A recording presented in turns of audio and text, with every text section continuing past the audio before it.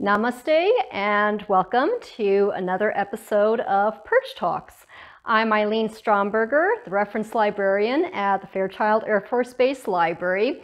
And as you may have guessed, today I'm going to talk about fitness and exercise that you can do during the stay-at-home order during the quarantine. Now, if you have an exercise routine already, that's wonderful and stick with what you're doing. But if you're not, here are some ideas that you can do to get you going.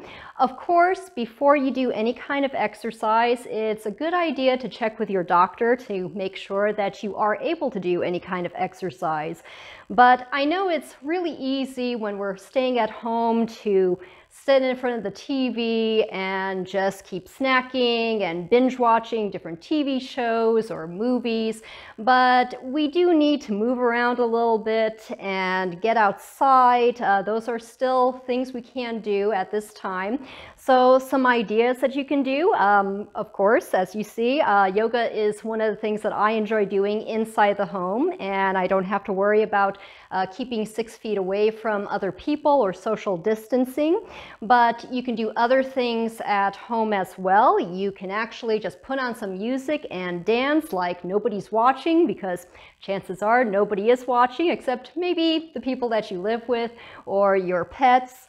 So that's one idea. Uh, other things that you can do is you can do aerobics at home. I don't know if anybody remembers that from uh, the 80s, but there are a lot of retro exercises that you can do if you go to YouTube. Uh, probably it's a popular website with a lot of people.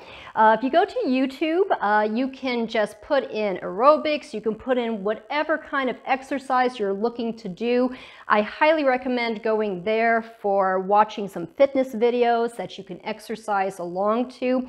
Uh, some really interesting and fun things that I found on YouTube. I don't know if anybody remembers Richard Simmons and the sweating to the oldies, but you can find his videos on YouTube and he plays some great retro 50s music and other kinds of music and you can just bop along and uh, get some movement uh, with those videos. Uh, some things that you can do outside uh, during the stay-at-home order, you can walk around your neighborhood, you can, uh, you can ride your bike, you can go rollerblading, you can skateboard.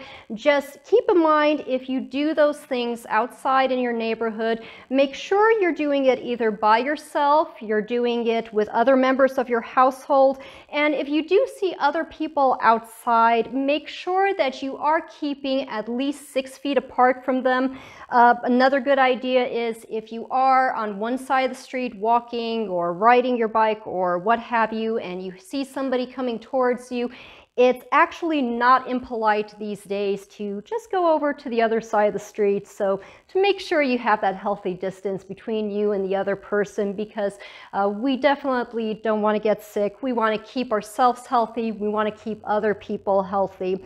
And if you are interested in any fitness magazines, RB Digital is a very good place to go to for that. You, there are a lot of fitness magazines there.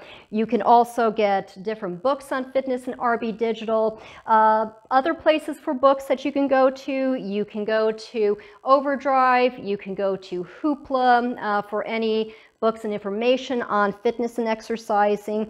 Another website, or I should say database that's good to go to, which I haven't mentioned before, is called Universal Class. And this is free of charge, like all of our other databases at the library. Universal Class is a website or database where you can actually take a class with instructors. Um, there are some quizzes, some tests, but there are some classes for fitness if you need to have a little more motivation and you want to do it with somebody teaching you virtually how to do different things. Uh, I found a Yoga 101 class on Universal Class. There's also a weightlifting class. There are some other health and fitness classes that you can take. So uh, just contact the library for information on that. Either uh, call us at 509-247-5556. You can also message us through Facebook. And of course, there is our email, fafblibrary at gmail.com.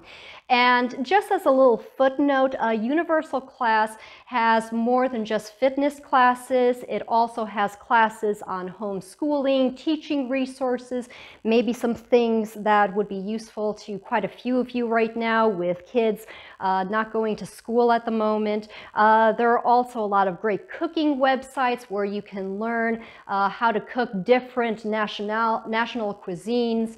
So uh, do go to Universal Class take a look at the different classes that they do offer. Uh, I've done a few of them myself. They're a lot of fun and it's for your own enjoyment and personal enrichment. So until the next time, stay healthy, stay safe, and cheers!